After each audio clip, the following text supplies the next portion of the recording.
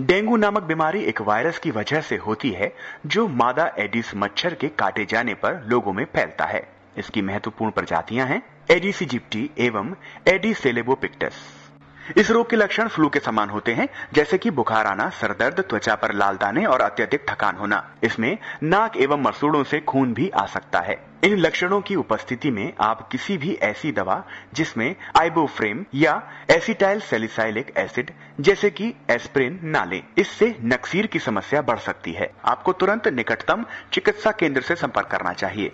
इस संक्रमण को रोकने के लिए आपको डेंगू मच्छर द्वारा काटे जाने से बचना चाहिए।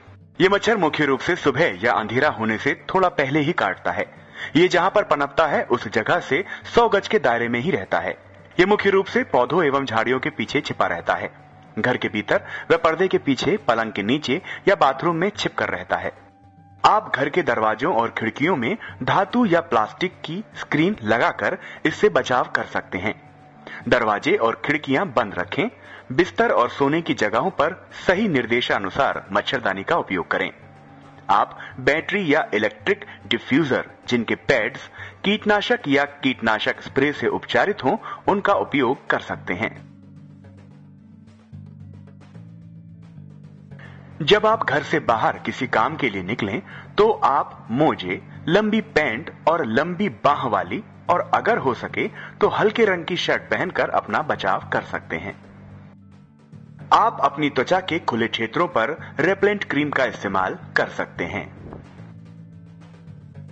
घर के आसपास पर्यावरण स्वच्छ रखना अधिक प्रभावी होता है, जब हमारे पड़ोसियों और समुदाय का भी सहयोग साथ रहे।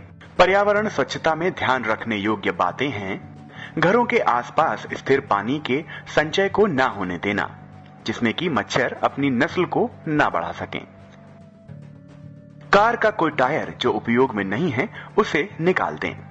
कचरा उठाएँ और बैग में डाल दें या डिब्बों में कसकर बंद रखें, जब तक कचरा गाड़ी उसे दूर ले जाने के लिए नहीं आती। यदि ये सेवा उपलब्ध नहीं है तो आप कचरे को जला या दफना सकते हैं। खाली बोतलें और अन्य डिब्बे जिनमें पानी खड़ा हो सकता है, उन्हें हटा दें या उनका मुँह उलट कर रख दें ताकि उनमें पानी जमा न हो। पक्षियों के नहाने के बर्तन और गुलदस्तों के पानी को नियमित रूप से बदलते रहें।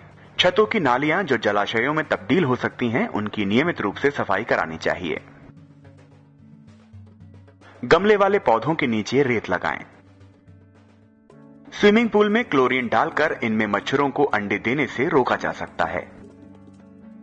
ये भी सुनिश्चित कर लें कि साफ़ पानी के टैंक, जो कि पानी पीने के लिए उपयोग होते हैं, वो कसकर बंद रखे जाएँ। नियमित रूप से लॉन में घास की कटाई करें